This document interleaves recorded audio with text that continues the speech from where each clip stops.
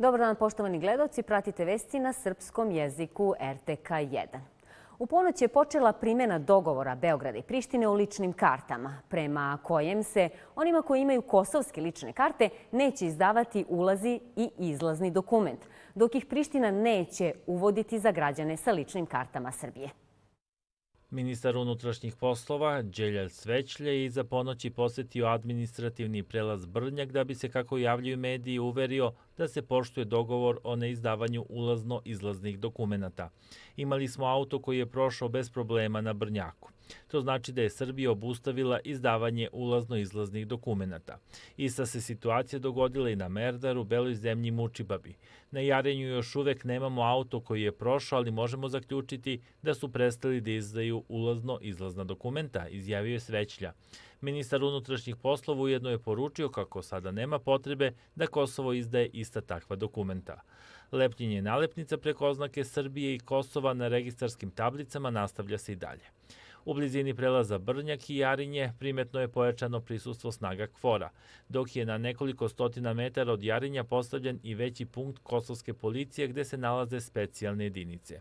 Srbije i Kosovo postigli su prošle subote dogovor o ličnim dokumentima i slobodi kretanja. Premijer Albin Kurti putem videoporuke pozvao je Srbe sa severa Kosova da preregistruju vozila sa KM na RKS tablice. Poštovani građani, od danas pa do 31. oktobra, tokom 61 dana unutar sva 34 centra za registraciju vozila, ponovo otvaramo mogućnost prelaska registracijskih tablica na one naše zajedničke republike. Prelazak i registracija vozila na tablice RKS služi javnom redu, zakonu i sigurnosti. Na Kosovu je svega 401.945 vozila sa tablicama RKS.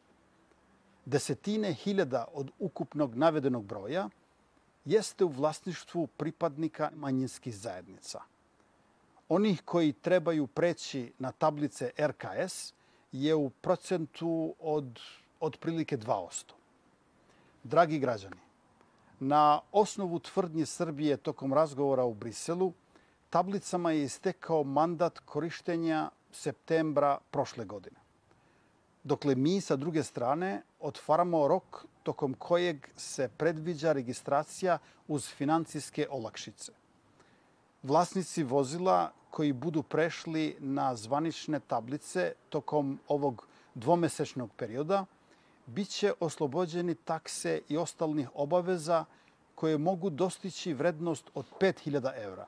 Za više detalja oko procedure registracije, molim vas da pratite obaveštavanja Ministarstva unutrašnjih poslova koje će biti objavljene na srpskom jeziku. Bićemo pored vas da bi pojasnili svako nejasnoću. Kampanja informisanja će se nastaviti.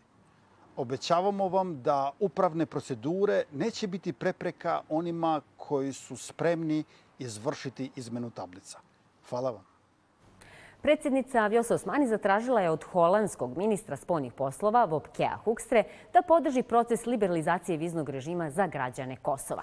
Osmani je poručila na Twitteru da je tokom sastanka sa Hukserom izrazila posvećenost produbljivanju odnosa i saradnji između Holandije i Kosova, kao i u napređivanju evropske agende – Na sastanku sa holandskim šefom diplomatije tražila sam podršku Holandije da okončam davno zakasnelo pitanje vizne liberalizacije za Kosovo tokom češkog predstavljanja Evropskom unijom. Navela je Osmani. Prvi međunarodni sajem vina Vinska vizija Otvorenog Balkana u okviru inicijative Otvoreni Balkan počeo je u Beogradu. Sajem su otvorili predsjednik Srbije Aleksandar Vučić i predstavnici vlada Severne Makedonije, Albanije, Dimitar Kovačevski i Edi Rama, a prisustvovao je i premijer Crne Gore Dritana Bazović, iako Crna Gora nije članica Otvorenog Balkana. Imamo čime da se ponosimo i po ovome što smo ovde uradili zajedno pokazali smo ne samo da možemo da budemo deo sveta, već da, već da u mnogo čemu možemo i da se takmičimo i da možemo da budemo i bolji u različitim sferama društvenog života i u svim važnim stvarima. I naš izbor je veoma jednostavan. Kako da ostanemo na ovom mestu, na ovom prostoru, a da svi budemo zajedno u istom evropskom susedstvu, pokušavajući da ovo susedstvo učinimo veselijim, mirnijim i za naše narode u kome će oni moći da uživaju. Ili, sa druge strane, da ovde budemo, provodimo vreme tako što ćemo da se gađamo kamenjem i tako što ćemo da podmećemo jedni drugima kao što smo radili vekovima i godinama. I mi smo zainteresovani da posetimo štandove izlagača iz Srbije i Albanije kao i drugih zemalja koje ovde izlažu. Ukoliko postoji interesovanje, ukoliko postoji volja za saradnjom i ukoliko smo pokazali da su e, jedno i drugo prisutni, onda možemo da povećamo regionalnu trgovinu i pomognemo jedni drugima da robu plasiramo na globalno i evropsko tržište. Školska nastava na Kosovu po sistemu Republike Srbije počela je danas na vreme. A po kosovskom obrazovnom sistemu obustavljena je zbog štrajka i prosvetnih radnika. Načelnik školske uprave na Kosovu po sistemu Republike Srbije Ivan Zaporožac izjavio da je u srpskim sredinama na Kosovu školska godina za oko 15.000 osnovaca i srednjoškolaca, ukupno stotinu škola počela na vreme. On je naveo da još uvek nema preciznih podataka, ali da je ove školske godine možda i malo više prvaka.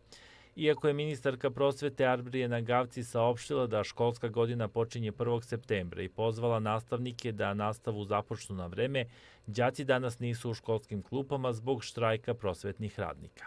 Ujedinjeni sindikat traži dodatnih 100 evra za nastavnike do stupanja na snagu zakona o platama. Takođe traži da se uključi u dijalog o zakonu o platama.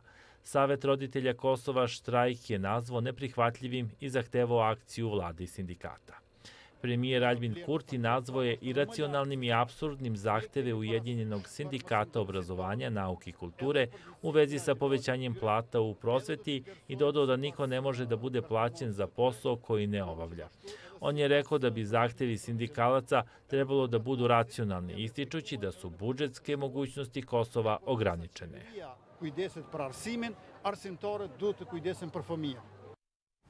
Osim početka školske godine, koja je mnogim asocijacija na septembar, u tom mesecu se planira budžet za predstojeći period.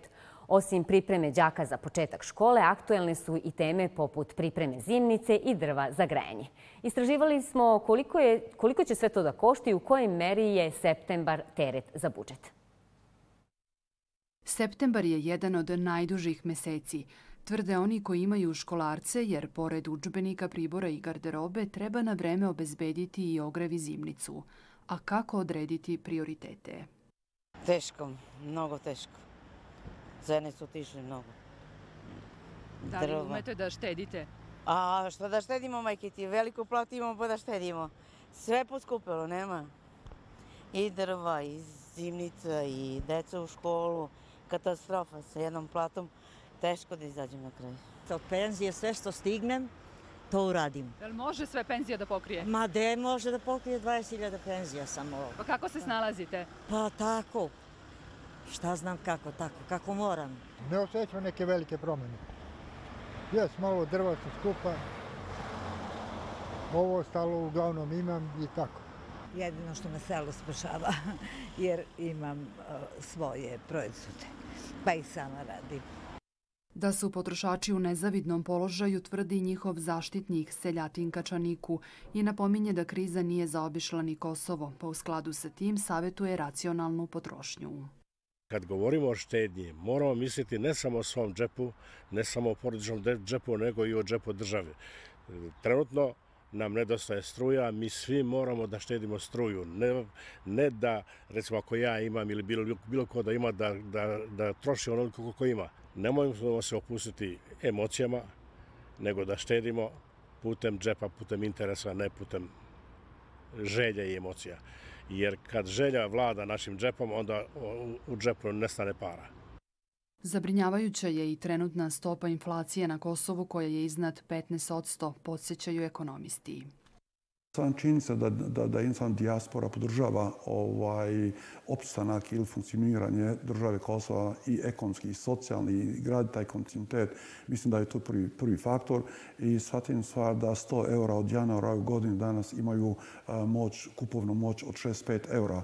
E, prema tome, mislim, to su dovoljni pokazatelji koji govore kakva je situacija ovdje, ali mislim da prava kriza ili pravi izazov tek će doći u septembru, oktobru. Iako je do kraja leta ostalo nešto manje od mesec dana, nabavka ogreva je neizbežna, a trenutno je za kubni metar bukovog drveta potrebno od 60 do 70 evra, dok metar hrastovine košta od 70 do 80 evra. Za uglja je potrebno 300 evra, a za tonu peleta čak 480 evra. Na osnovu toga je sasvim jasno, morat ćemo da se dovijamo i štedimo, kao i mnogo puta do sada.